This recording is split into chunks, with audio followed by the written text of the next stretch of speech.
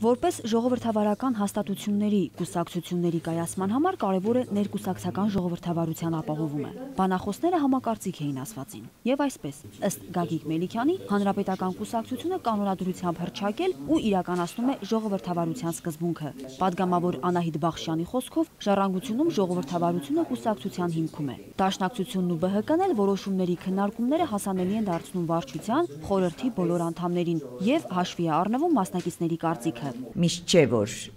վարչության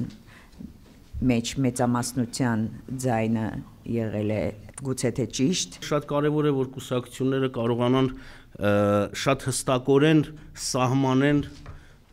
կուսակցականների, այսինքն իրենց մեջ ներգրաված անձերի հարաբերությունները, կուսակցություններ եւ մարմիններ հարաբերությունները մեզ մոտ սովորական քաղաքացիները կլինի գյուղական տեղանքներից կամ քաղաքից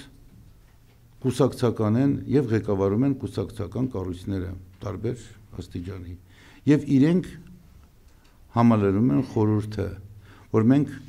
իրոք խորհուրդ անցկացնելով կարողանանք տեղեկացնել